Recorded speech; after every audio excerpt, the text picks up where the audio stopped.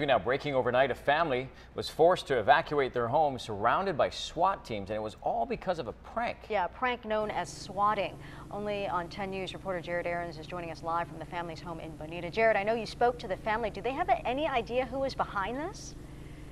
Well, not specifically. They don't know who they did it, but they do know whoever the prankster is. They found the Twitter feed. This is it, with posts about the swatting starting about six hours ago. Still, even though it was a prank for the family of nine that lives in this home behind me, it gave them a very real scare. The oldest son says his girlfriend was playing online with her video stream open when a friend who saw that Twitter feed called to warn her that she was about to get swatted. Deputies say the person who called in the threat told police he or she had guns, bombs, had already shot a dog, and wanted a $20,000 ransom.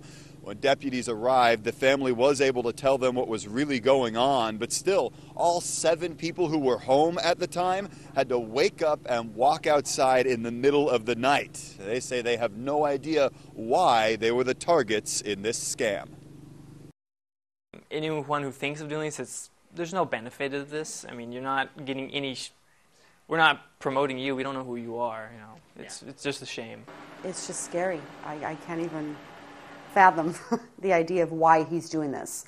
But I'm hoping that he gets caught. That you know, he doesn't do this to somebody else because it was very scary.